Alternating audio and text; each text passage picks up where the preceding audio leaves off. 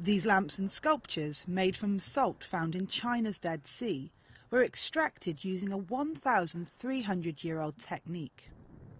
Yuncheng Salt Lake is a hive of activity again today, some 30 years after workers downed their tools and turned their backs on the traditional salt production.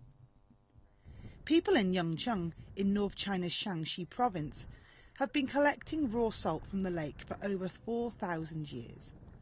But the salt extracting technique is still used today and was invented more than 1,300 years ago. It greatly improves the quality and production capacity and was listed as an intangible cultural heritage in Shanxi in 2007. The production of salt involves several steps. Firstly, pails of brine are drawn from a well and then poured into shallow ponds. The sun and the wind help the water evaporate until a salt bed forms on the bottom of the pond. The salt is then filtered and washed with fresh water before being collected.